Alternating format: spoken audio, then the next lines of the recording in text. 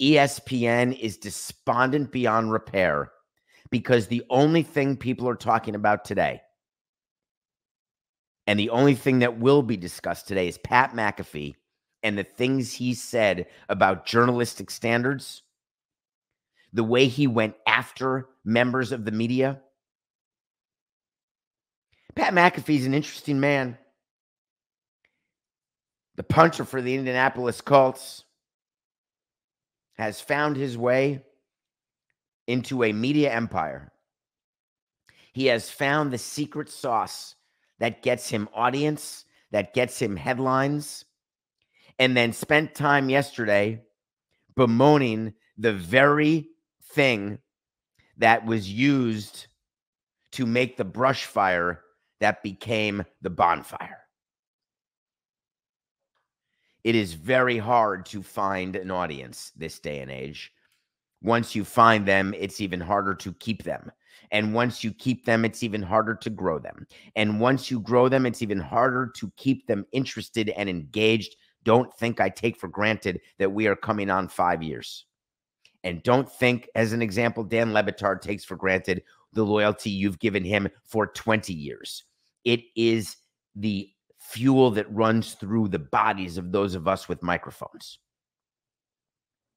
Pat McAfee would like you to believe that he is misunderstood, that the media, the traditional media, is after him. They're angry because journalistic standards that used to matter don't matter anymore. That Pat McAfee has the ability without consequence to do and say things on his show that journalists should not be allowed to do.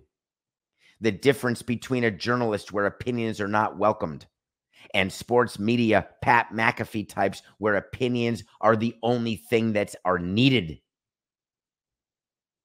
If you go to Pat McAfee to learn anything about COVID from Aaron Rodgers, then you deserve to learn what Aaron Rodgers has to say. It is your job as a consumer to understand who is giving the information that you are taking.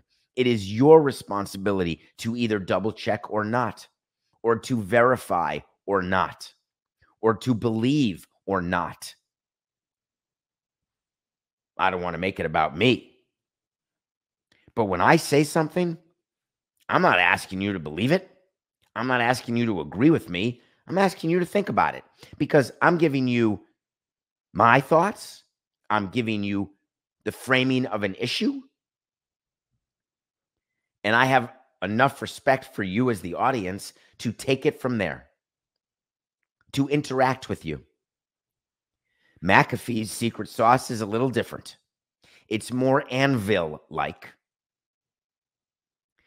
The point that I would make is that if he's going to be on a panel and ESPN wants to put him there like a show dog in front of members of the media, you can bet your bippy that the result is going to be a headline that makes Jimmy Pitaro and Bob Iger despondent. When you ask a CNBC reporter to be in a room with Pat McAfee and that CNBC reporter wants to talk about journalistic standards, do you think that Pat McAfee's response is not going to be define journalistic standards?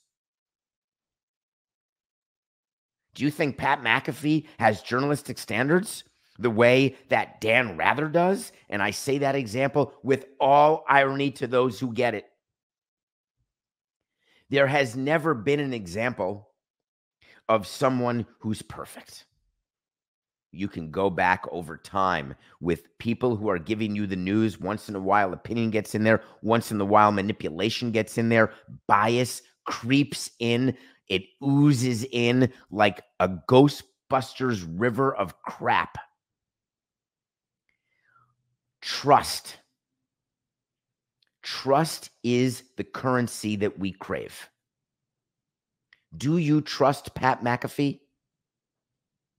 Why wouldn't you? You're not asking him for investment advice, are you? You're not asking him to be at the table and solve Middle East peace, are you?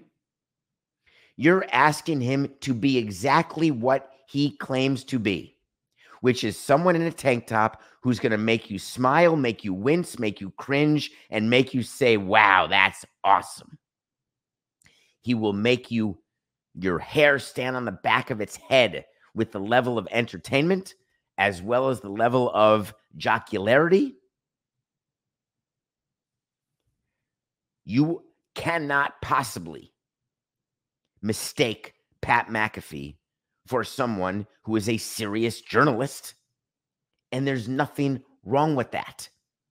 He doesn't have his job description is not, I'm going to teach you about nuclear disarmament. I am going to explain to you what trickle down economics is. I am going to tell you what is going on with COVID.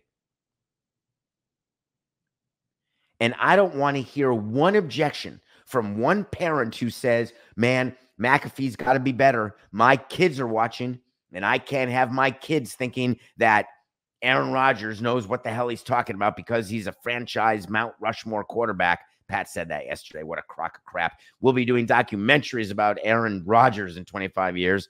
Yeah, documentaries that'll be watched by nobody. But I digress. Speaking of which, Aaron Rodgers may get his weekly slot back on the show.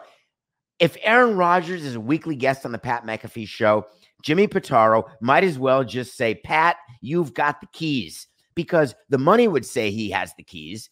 Some of the actions would say he has the keys. Some of the uh, the give and take between him and his co-workers may indicate he has the keys, but you cannot allow Aaron Rodgers to spew his crap